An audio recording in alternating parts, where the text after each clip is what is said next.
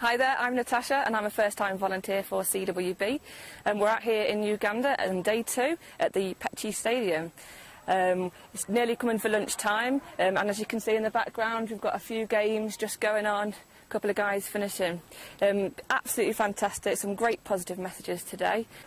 Okay, so the team that we've been working with today have been the uh, Sir Samuel Baker School Okay, and their coaches went back and started teaching the players three weeks ago how to play cricket. Um, they've come today and they've been absolutely fantastic. One player in particular absolutely smashed it. I can see him playing in two, three years' time. Okay, as a uh, first-time cricket coach, I'd like to inspire all you non-cricketers out there, okay, girlfriends and wives that might want to come along. Um, as I say before, two or three weeks ago, I'd never played cricket, and here I am today coaching cricket, and I don't think I've done a bad job.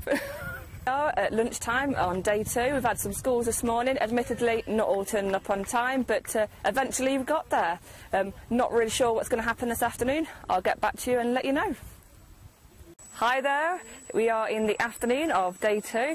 Um, it's about half past two. Um, the tutors with their children should have been here at two o'clock, and as you can see, no children other than a few street children that we've picked up. Okay. Um, what we're doing is we're ensuring that they're not supposed to be in school. If they are supposed to be in school, we're sending them away.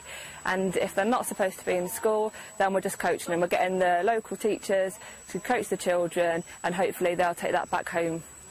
Okay, we'll check you later, to see if anybody turns up.